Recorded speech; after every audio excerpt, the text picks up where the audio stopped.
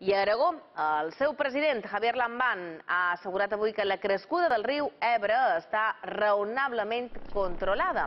Lambán ha descartat que l'aigua afecti els nuclis urbans de les poblacions de la Ribera de Saragossa, tot i que es manté la situació d'alerta. Segons el president aragonès, la crescuda s'ha produït en termes menys dramàtics del que s'esperaven en un primer moment i la situació s'està normalitzant. Amman ha elogiat la feina de les diferents institucions i de la societat davant la crescuda i ha lamentat la mort d'un home de 38 anys que va ser arrossegat al municipi de Codos, en quedar aïllat per l'aigua.